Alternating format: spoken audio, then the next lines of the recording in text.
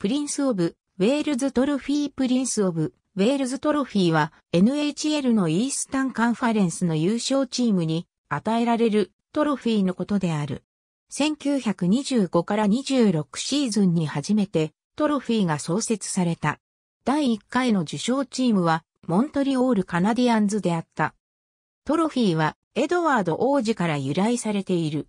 その後 NHL のレギュラーシーズン最高勝率チーム、アメリカンディビジョンシーズン最高勝率チーム、ウェールズカンファレンス最高勝率チームなどへの授与を経て1981から82シーズン以降はイースタンカンファレンスのプレーオフを勝ち上がったチームに与えられている。トロフィーはプリンス・オブ・ウェールズ殿下がスポンサーとなり2500ドルで制作され1925年12月25日にマディソンスクエアガーデンで行われた試合でニューヨークアメリカンズに3から1で勝利したモントリオールカナディアンズに授与された。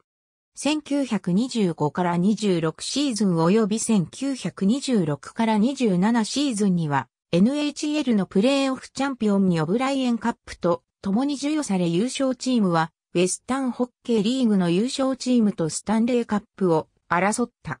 その後、WHL の崩壊により、スタンレーカップが NHL のプレーオフを制したチームへ与えられる賞になると、ウェールズトロフィーはレギュラーシーズン最高勝率を上げたチームに授与されるようになった。1927年から1938年まで、ウェールズトロフィーがアメリカンディビジョン優勝チームに、オブライエンカップがカナディアンディビジョン優勝チームに授与された。その後、NHL チームが一つのディビジョンに統合され、ウェールズトロフィーはレギュラーシーズン最高勝率チームに贈られるようになった。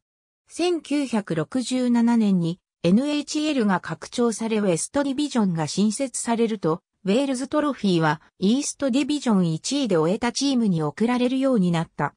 1974年にリーグが2つのカンファレンスに再編されると、ウェールズトロフィーはウェールズカンファレンスのレギュラーシーズン1位のチームに贈られるようになった。1981年に NHL がプレーオフのフォーマットを変更し、スタンレーカップ決勝をそれぞれのカンファレンスを勝ち上がったチーム同士が争うようになってから、ウェールズカンファレンスのプレーオフを勝ち上がったチームに送られるようになった。